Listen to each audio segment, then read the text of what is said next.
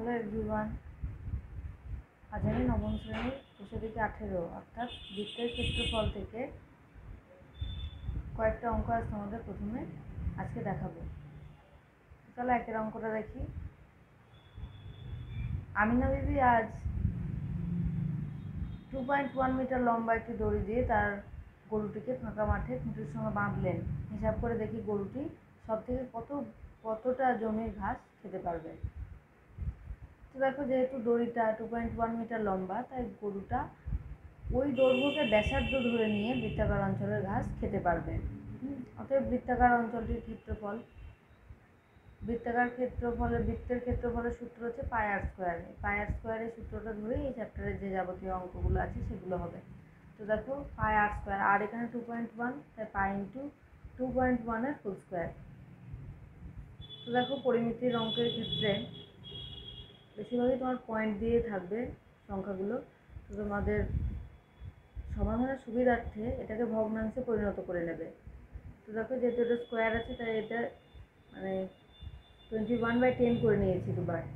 তো এবার দেখো কাটাকুটি করলে উপরেরটা গুণ করে নেব আর নিচেরটা একশো।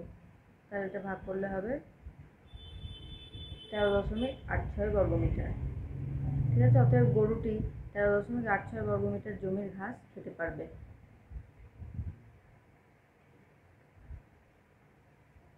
দুয়েতে দেখো, সুহানা একটি বৃত্ত আঁকবে যার পরিধি হবে পঁয়ত্রিশ দশমিক দুই সেমি। হিসাব করে দেখি সুহানা যে বৃত্ত আঁকবে, তার ব্যাসার্ধের দৈর্ঘ্য কত নেবে এবং বৃত্তাকার ক্ষেত্রের ক্ষেত্রফল কত হবে?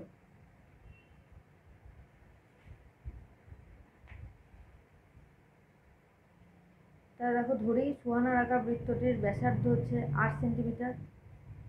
তাহলে শর্তানুসারে আমরা দেখো এটা পরিধিটা বলা আছে, পরিধি আর এই যে পরিধিটা বলা আছে পঁয়ত্রিশ দশমিক দুই সেমি। তাহলে বৃত্তের পরিধি সূত্র আমরা জানি যে টু পাই আর, তাহলে শর্তানুসারে টু পাই আর সমান পঁয়ত্রিশ দশমিক দুই। দেখো পায়ের মানটা বসিয়ে দিলাম বাইশের সাত আর এর মানটা আমরা তো জানি না। ব্যাসার্ধটাই নির্ণয় করতে হবে। তো দেখো, এটাকেও ভগ্নাংশে পঁয়ত্রিশ দশমিক দুইটাকে আমি ভগ্নাংশে পরিণত করে নিয়েছি। এবার আর এর মানটা কাটাকুটি করে বেরিয়ে যাবে ছাপান্ন বাই দশ। তার সমান হবে ফাইভ পয়েন্ট সিক্স এখন আটটা বেরোলো ব্যাসার্ধ। এখন বৃত্তাকার ক্ষেত্রের ক্ষেত্রফলও বের করতে হবে। দাও ক্ষেত্রফলের জায়গায় নিয়েছি, পাই আর স্কোয়ার আর জায়গায় ফাইভ পয়েন্ট সিক্স বসিয়ে দাও। তো এবার এটাকে যদি ক্যালকুলেশন করো, তাহলে উত্তর বেরিয়ে যাবে আটানব্বই দশমিক পাঁচ ছয় বর্গ সেন্টিমিটার তাহলে অতএব বৃত্তাকার ক্ষেত্রে ক্ষেত্রফল হচ্ছে আটানব্বই দশমিক পাঁচ ছয় বর্গ সেন্টিমিটার আর ব্যাসার্ধ তো আগেই বের করেছি বৃত্তাকার ক্ষেত্রের ব্যাসার্ধ হবে, তাহলে ফাইভ পয়েন্ট সিক্স সেমি লিখে নাও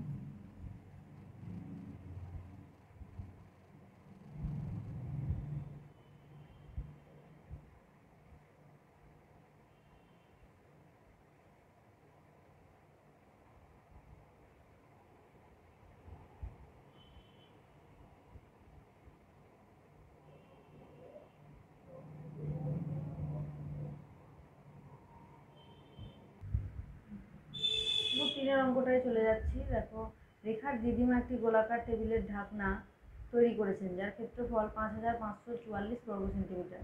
তিনি ওই, এই টেবিলের ঢাকনা চারিদিকে রঙিন ফিতে লাগাতে চান। হিসাব করে দেখি, দিদিমাকে কত দৈর্ঘ্যের রঙিন ফিতে কিনতে হবে। তাহলে ধরে নাও, গোলাকার টেবিলের ব্যাসার্ধ আট সেন্টিমিটার। তো শর্তানুসারে দেখো, যেহেতু ক্ষেত্রফলটা বলা আছে পাঁচ হাজার পাঁচশো চুয়াল্লিশ বর্গ মিটার, তাই শর্তানুসারে পাই আর স্কোয়ার সমান পাঁচ হাজার পাঁচশো চুয়াল্লিশ। তাহলে দেখো পাই আর স্কোয়ার, পায়ের জায়গায় বসিয়ে নাও, বাইশের সাত। আর আট স্কোয়ারটা তোমাকে বের করতে হবে, আটটা বের করতে হবে।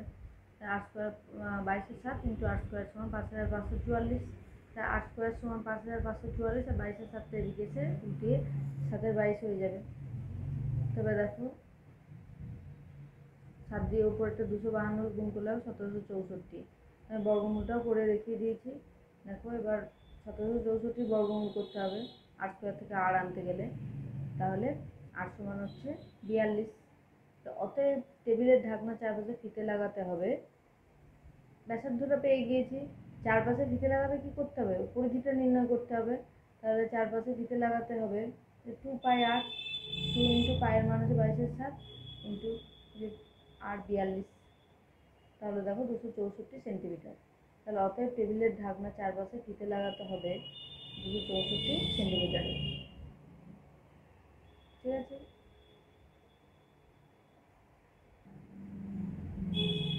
এখন দেখো চারের অঙ্কটায় চলে যাচ্ছি।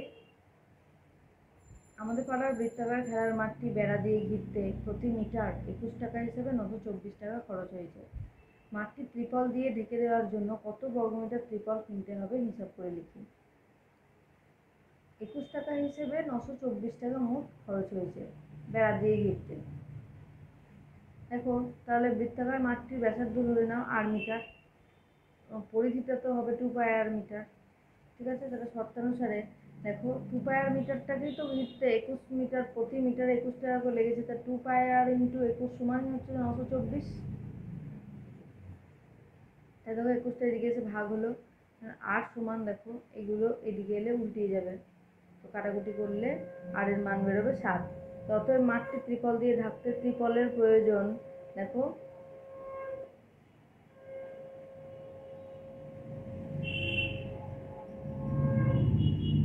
হচ্ছে ক্ষেত্রফলটা বের করতে হবে। তো ত্রিপলের প্রয়োজন, তাহলে পাই আর স্কোয়ার। তো পাই বাইশের সাত ইন্টু সাত গুণিত সাত আর স্কোয়ার। আর এর মানটা সাত বেরিয়েছে। তাহলে দেখো, উত্তরটা হবে একশো চুয়ান্ন। বর্গমিটার। তাহলে অতএব মাঠটি ত্রিপল দিয়ে ঢাকতে ত্রিপলের প্রয়োজন একশো চুয়ান্ন বর্গমিটার। চেয়েছে? কত বর্গমিটার ত্রিপল কিনতে হবে?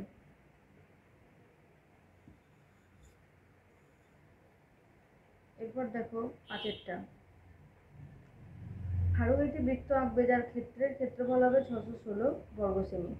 হিসাব করে দেখি ফারুক যে বৃত্ত আঁকবে, তার ব্যাসার্ধের দৈর্ঘ্য কত নেবে এবং বৃত্তটির পরিধি কত পাবে?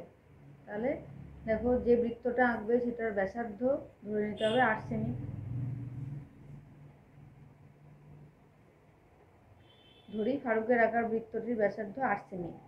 তো অতএব ওই বৃত্তটির ক্ষেত্রফল হবে কত? বৃত্তের ক্ষেত্রফলের সূত্র হচ্ছে পাই আর স্কোয়ার। তো দেখো শর্তানুসারে পাই আর স্কোয়ার সমান ছশো ষোলো। বলা আছে যে ছশো ষোলো বর্গ সেমি বৃত্তাকার ক্ষেত্রটির ক্ষেত্রফল। তাহলে দেখো বাইশের সাত গুণ আট স্কোয়ার সমান ছশো ষোলো। আর আটটা তুমি বের করে নাও। আট স্কোয়ার সমান ছশো ষোলো গুণ সাতের বাইশ। তো দেখো আট স্কোয়ার সমান হচ্ছে একশো ছিয়ানব্বই। আট সমান হচ্ছে রুট ওভার একশো ছিয়ানব্বই একশো ছিয়ানব্বই বর্গমূল করলে হবে চোদ্দ। তাহলে আট সমান হচ্ছে চোদ্দ।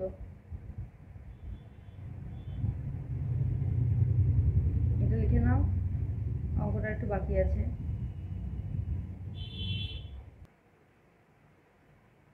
অতএব বৃত্তটির ব্যাসার্ধ হচ্ছে চোদ্দ সেন্টিমিটার।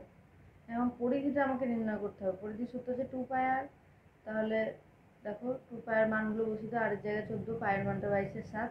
তাহলে কাটাকুটি করলে অ্যান্সার আসবে অষ্টআশি অষ্টআশি সেন্টিমিটার। অতএব ফারুকের আঁকা বৃত্তটির ব্যাসার্ধ চোদ্দ সেন্টিমিটার ও পরিধি হচ্ছে অষ্টআশি সেন্টিমিটার। ঠিক আছে?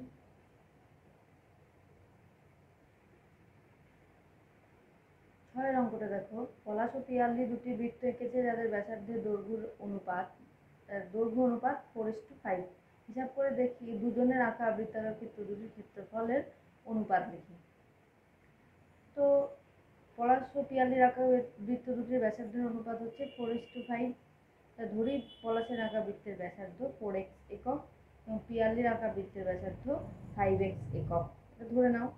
অতএব পলাশের আঁকা বৃত্তের ক্ষেত্রফল পাই আর স্কোয়ার বর্গ একক, তাহলে আরের জায়গায় বসবে four x four x square. তাহলে দেখো এটা যদি করি, তাহলে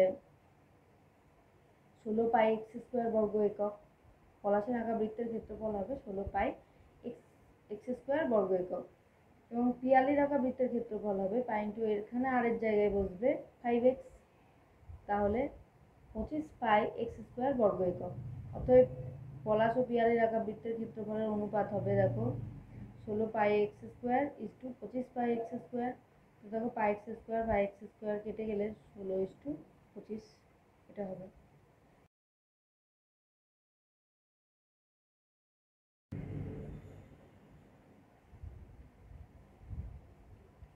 ভিডিওটা ভালো লাগলে তোমরা লাইক করবে, বন্ধুদের মধ্যে শেয়ার করবে এবং যারা নতুন আছে তারা চ্যানেলটিকে অবশ্যই সাবস্ক্রাইব করবে ভালো ভালো ভিডিওর আপডেটস পেতে। টাটা।